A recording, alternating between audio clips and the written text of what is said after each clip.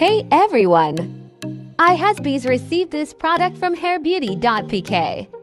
So basically this is used for change the pigmentation of skin and skin become tighter. It must be used for consistently to see any changes in skin.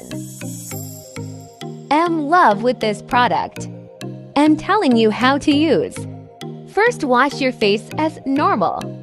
Then apply 3 to 5 drops and massage gently until it absorbed. Then wash your face and see results. Thank you.